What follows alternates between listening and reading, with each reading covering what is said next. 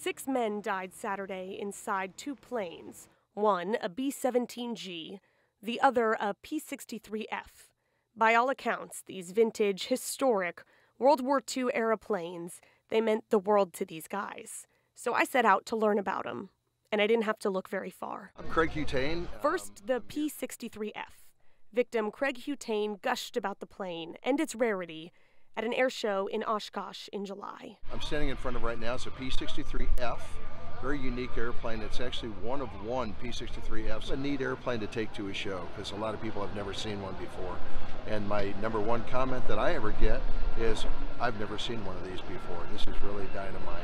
Next, the B-17.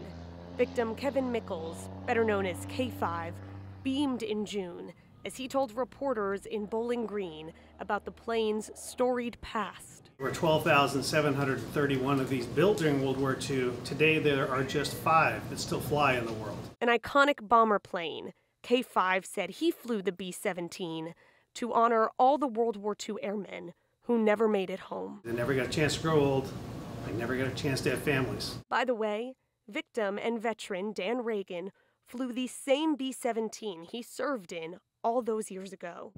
That was our mission. Priceless as they were, these planes weren't nearly as precious as the men who made them fly.